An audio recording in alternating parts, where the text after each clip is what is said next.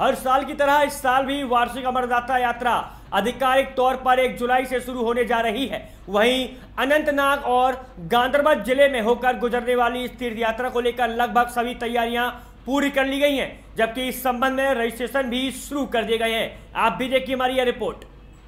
सुरक्षा एजेंसी की ओर से अहम बैठकों का सिलसिला शुरू हो गया है, जबकि सबसे अहम बैठक दो दिन पहले श्रीनगर में हुई थी। बैठक में गृह सचिव खुफिया प्रमुख पुलिस प्रमुख और महत्वपूर्ण सुरक्षा अधिकारी शामिल हुए हैं, जबकि विभिन्न सुरक्षा बलों के सभी वरिष्ठ अधिकारियों ने गृह सचिव को अपनी अपनी तैयारियों की जानकारी दी है। मीडिया से बात करते हुए सीमा शस्त्रबुल के उप महानिरीक्षक एच बी के सिंह ने सुरक्षा की जानकारी देते हुए कहा है कि हम हर बार की तरह अन्य सुरक्षा एजेंसियों के साथ मिलकर काम कर रहे हैं। तीर्थ यात्रियों को जम्मू कश्मीर पुलिस सुरक्षा मुहैया कराएगी।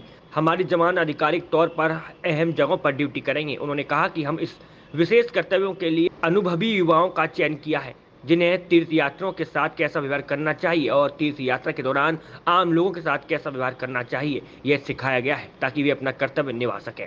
उन्होंने आगे कहा कि हमारे युवा रोड ओपनिंग पार्टी का हिस्सा बनते रहेंगे और युवाओं को कुछ महत्वपूर्ण विशेष दिशा निर्देश भी दिए गए हैं।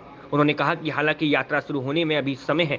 गांधरबल ज़िले के प्रवेश बिंदु यानी नागबुल में पहले ही सुरक्षा कड़ी कर दी गई है, लेकिन दुश्मन की किसी भी हरकत को समय रहते समझा जाएगा और उनसे पूरी तरह निपटा जाएगा। जम्मू कश्मीर से फिरदोस अहमद की रिपोर्ट।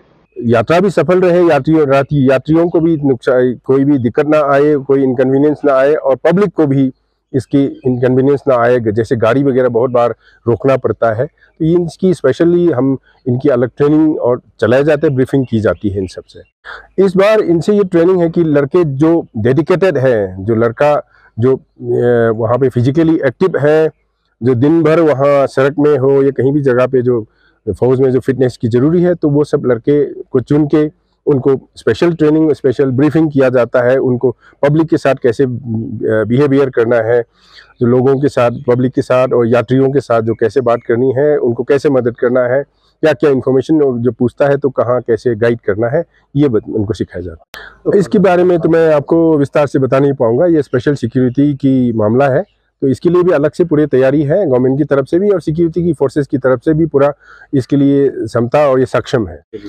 हम भी बाकी फोर्सेस की साथ हम भी मिलके काम करेंगे, जैसे पहले भी किया है एंड सशस्त्र सीमा बल इसके लिए पूरा सक्षम है एंड पूरा हमें यकीन है।